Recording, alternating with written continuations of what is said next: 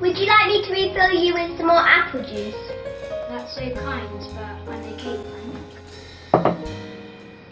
I was thinking, how are we going to get more families involved in the Pinner community life?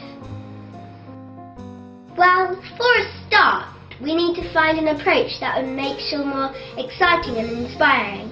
I mean to say there must be a way of making tradition fresh and enriching.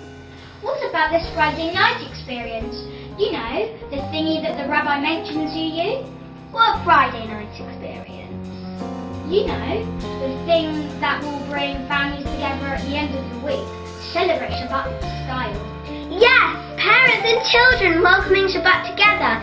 There'll be singing, dancing, and a proper cool atmosphere.